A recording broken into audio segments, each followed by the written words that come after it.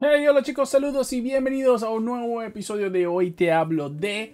Y por supuesto el día de hoy es martes y eso significa que vamos a continuar con lo que es el reto de 52 semanas de cine. En este caso vamos ahora con el reto número 4. Pero como siempre antes de iniciar con lo que es el reto, voy a, voy a leerle un poco los comentarios de las personas que participaron. Luego decirles qué película vi y contarles cuál va a ser el reto de la próxima semana. ¿Ok? Entonces, ah, por acá estuve revisando algunas de las respuestas que ustedes me dieron e investigando porque hice la tarea completa, ¿no? Entonces, bueno, hay varios comentarios que me han dejado, pero voy a leer evidentemente los que están relacionados con el tema de, pues, qué película han visto. Entonces, por acá, eh, con Ramos Castañeda nos dice que vio la película que escogió para el reto de la semana fue Taps, Más allá del honor, de 1981.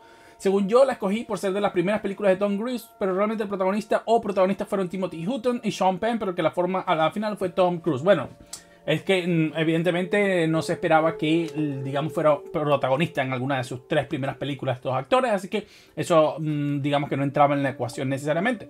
Me sorprendió ver también a un joven Giancarlo Espósito no tan calculador. Al comenzar con la película realmente sentía que me iba a decepcionar o algo por el estilo, un rollo de escuela militar para niños y cosas de esas, pero realmente me sorprendió las vueltas que dio la película. Me hizo recordar mi época universitaria donde teníamos que tomarnos la universidad para pelear por nuestros derechos y la cosa. Realmente gracias a estos retos creo que veré películas que ni pensaba que existían como que abre el espectro de posibilidades a ver cosas nuevas, aunque se hayan hecho antes que uno naciera. Muy buena idea la de este reto, Ángelo. Muchas gracias, Corey. Me encanta que estés participando. Creo que esta semana hemos tenido un poco menos de participación que semanas anteriores, pero bueno, es lo que hay, ¿no? eh. Rey Mary, para el resto de esta semana pensaba ver la primera película de Sylvester Stallone, codazo, codazo, guiño, guiño, pero he optado por Roman Holidays, película de 1953, protagonizada por Gregory Peck y la hermosísima Audrey Hepburn, que hacía su debut en Hollywood con este film. Debo decir que es una comedia romántica, un poco tontorrona, ingenua incluso debido a su época, supongo, pero aún así es voce varias sonrisas, y el final, aunque es coherente, no deja de ser amargo, y uno desea que el cine haga su magia y tengamos un final típico del amor, que todo lo puede con todo lo cursi que suene muy buena elección de parte de Rito Mary. Debo decir que no conozco la película, pero eh, pues el, hecho de que esté la bellísima Audrey Hepburn y que sea su debut, pues me hace parecer interesante. Luego tenemos a Diego Fernando Martínez 2863 que nos dice que esta semana vio la película Red Dawn de 1984, la primera película de Charlie Sheen, quien junto a Patrick Swayze lidera un pequeño grupo de jóvenes que forman una guerrilla en contra de los invasores, entre ellos Leah Thompson, de quien también es una de sus primeras películas, una hipotética tercera guerra mundial orquestada por los soviéticos, quienes junto a los cubanos invaden Estados Unidos. Existe un remake de 2012 de esta película con Chris Hemsworth, Josh Peck y Josh Hutcherson. La película es muy buena, se lo nota los años, pues es un tanto lenta al principio sin mucha acción, pero con una gran fotografía como era estilo de los 80. Bastante recomendable una película y drama muy al estilo de su época. Pues la voy a anotar porque me has hecho que me llame mucho la atención. Y debo decir que eh, sí, efectivamente es una de las primeras películas de Charlie Sheen, aunque mm, eh, él hizo algunas otras películas antes que esa y realmente esta vendría a ser como la cuarta, pero en sus primeras películas nunca fue acreditado. Entonces podríamos tomar esta como efectivamente estar entre sus primeras tres películas eh, de Charlie Sheen. Y por acá nos dice el amigo Luis999. Hola, año estuvo un, un, poco difícil reto, ya que la mayoría de los actores tristes famosos que conozco no tengo en mi colección su primera película. Y la de las películas, de las poquitas que ya tenía, la había visto en su mayoría. No tengo streaming. Y la página que utilizaba para encontrar joyas viejas la cerraron recientemente. Pero me encontré con la película Heaven Creatures de 1995, en la que sale la famosa Kate Winslet. Una película muy controversial por su contenido para esa época y aún ahora que se ve mucho de eso. Veo que los retos se van poniendo difíciles. Espero poder terminarlos todos en mi catálogo actual. Saludos y a esperar un nuevo reto. Efectivamente, yo vi esta película hace mucho tiempo, si no recuerdo mal, es esta, que eran las dos chicas que se unieron y creo que cometieron algunos crímenes juntos. Esto creo que pasó, no sé si fue en Australia o Nueva Zelanda, pues, y el director, que si no recuerdo mal es, eh, no sé si era Peter Jackson, me equivoco, eh, no sé si lo mencionaste o algo así. Eh, y entonces, pues, em, déjame revisarla porque ah, estoy casi, casi seguro de que era algo de esto y el director, efectivamente Peter Jackson, ¿no? Eh, pues eh, ellos eh, toman venganza, etcétera, etcétera. Bastante buena la película, ¿no? Yo estaba haciendo la tarea. Alguien, no sé si me he saltado el, un, una, un, comentario, porque juraría que alguien me comentó, aunque no sé si lo dejó en este, puede ser. Alguien había comentado que había visto una película de Leonardo. Déjenme ver, porque no sé si es que me estoy comiendo algo aquí, pero juraría que había un comentario que alguien me dejó diciéndome que había visto What's Eating Gilbert Grapes como una de las primeras películas de Leonardo DiCaprio, ¿no? Y en ese caso, esa película eh, realmente, déjame, estoy tratando de ordenar, estoy buscando acá los comentarios, ordenándolo. Eh, juraría que alguien dejó ese comentario, no sé si borró el comentario, no sé qué pasó. Pero alguien me había dejado ese comentario de que había visto la película de eh, Leonardo DiCaprio, What's Eating Gilbert's Grave, pero lamentablemente esa película no entra en el reto porque es la cuarta película de Leonardo DiCaprio, realmente no está entre las tres primeras. Entonces pues allí no entra. El resto pues todos han estado bastante acertados.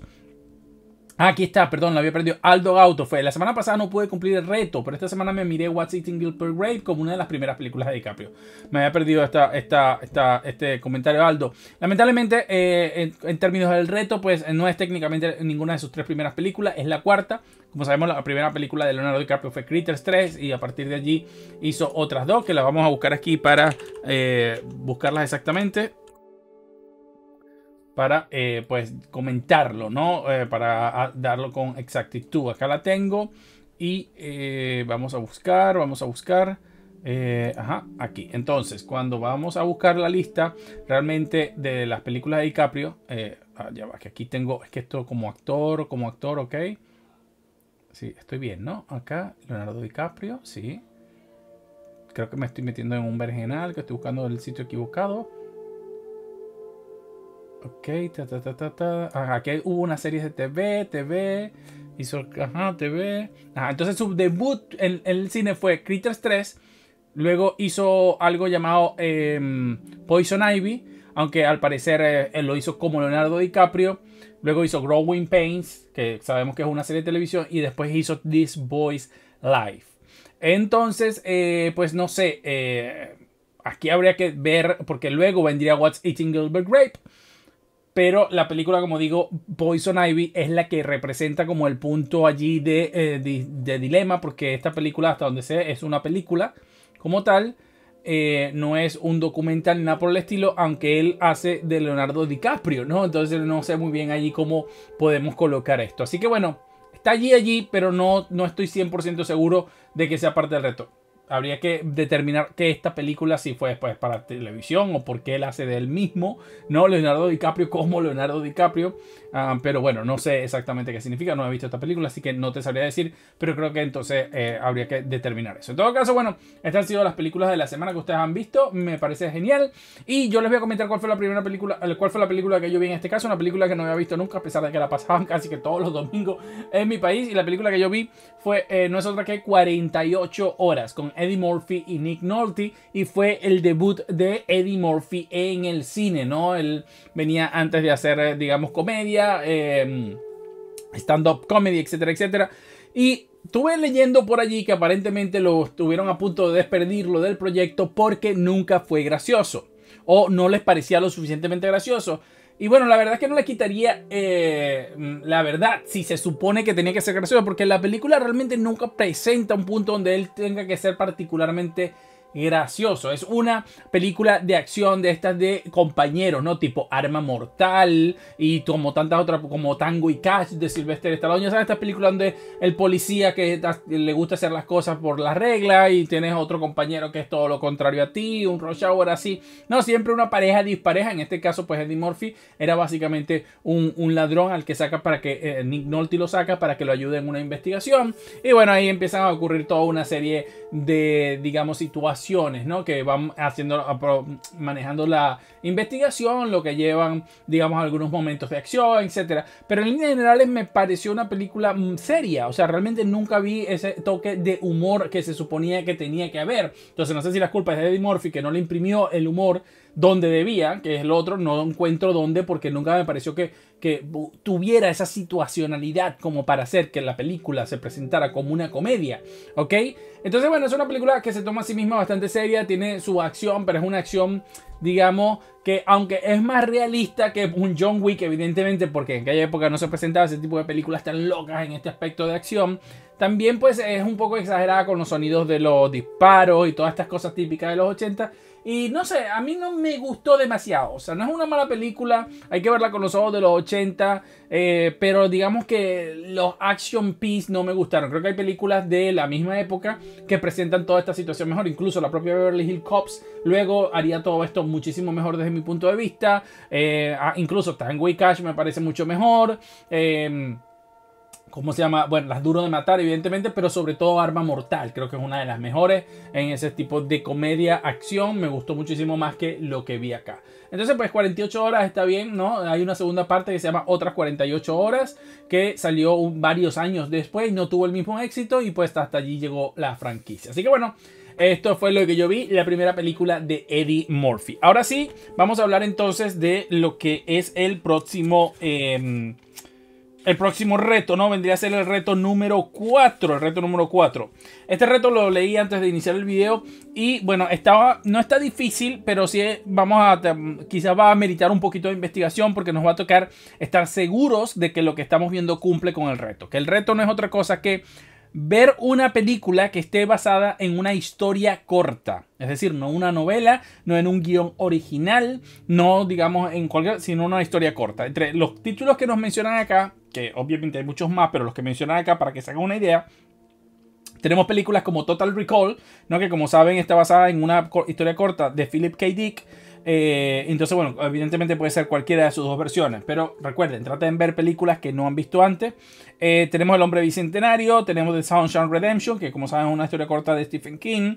Eh, una película llamada Secretary, no tengo idea de qué película es esta. Tenemos Brokeback Mountain, tenemos Real Steel, Stand By Me, Hellraiser, The Duelist, Don't Look Now, The Swimmer, también The Thing. ¿No? De eh, tanto la versión de 1951 que se llamó The Thing from Another World como la de 1982. Esa ya me la he visto muchas veces, de hecho tengo el póster ahí dado, así que esa no me va a servir. El día que la Tierra se quedó eh, detenida, The Day the Earth Stood Still, ya saben que hay dos versiones, la del 51 y la de 2008 con Kenny Reed. It's a Wonderful Life, Mr. Dick Goes to Town, que es del 36, pero también hay una versión del 2002 eh, llamada Mr. Deeds eh, A Face in the Crowd y The Fly. Breakfast at Tiffany también es otra. Bueno, estas son algunas de las que nos dan acá como algunos ejemplos de historias cortas. Entonces, vamos a tener que pues investigar qué películas están basadas en historias cortas para eh, poder verla, ¿no? Así que bueno, mm, eso está interesante. Lo bueno de las historias cortas es que normalmente, eh, a diferencia de películas basadas en libros como tan largos, que tienen que quitar muchas cosas para que entre, en las historias cortas, al contrario, muchas veces están mucho mejor adaptadas y además eh, en algunos casos tienen eh, más, son mejores o son más largas porque como son historias tan cortas tienen que alargarlas un poco más. Yo no tengo muy claro cuál voy a ver porque creo que he visto la mayoría de las que mencionan en el libro, así que me va a tocar investigar qué otras películas con historias cortas hay, entonces eh, basadas en historias cortas. Así que bueno, vamos a ver, creo que también Blade Runner estuvo basada en historias cortas, creo que era de los androides sueñan con ovejas eléctricas, creo que es donde se basa, que también es una historia corta de em, nuestro amigo, ah, ahora se me fue eh, el nombre, pero bueno. Eh, esa es una. creo que Yo Robot también está basada en historias cortas. Así que como ven, hay muchas películas que han sido basadas en historias cortas. Y bueno, vamos a buscar alguna para ver. Eso es básicamente el reto de esta semana. Así que ya vamos por la cuarta película. Y bueno, hasta ahora hemos, al menos yo he logrado cumplirlo. No sé cuántos de ustedes están siguiendo el, el reto, pero espero que podamos continuarlo. Vamos a ver dónde estaremos cuando llegue la semana número 20, por ejemplo. Y ver si hemos cumplido todas las semanas con el reto de esa semana. Y ver si así hemos podido llegar a donde teníamos que llegar. Así que bueno amigos, muchísimas gracias por acompañarme como siempre. En estos días les estaré trayendo algún otro videito y recuerden que los jueves tenemos Habitación Gamer donde pues estoy con ustedes en directo siempre para hablar del mundo de los videojuegos, de las cosas que ustedes puedan interesarles más. Un saludo y nos vemos en un próximo episodio. Hasta luego.